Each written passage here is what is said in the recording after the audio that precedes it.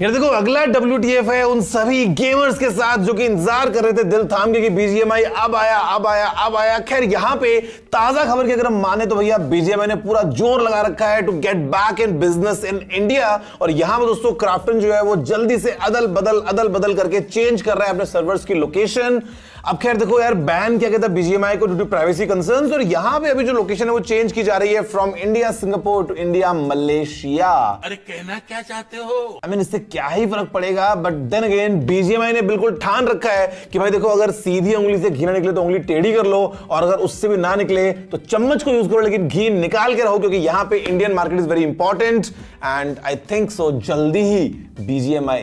या किसी और नाम से समथिंग समथिंग इंडिया में वापस आ जाएगा। दोस्तों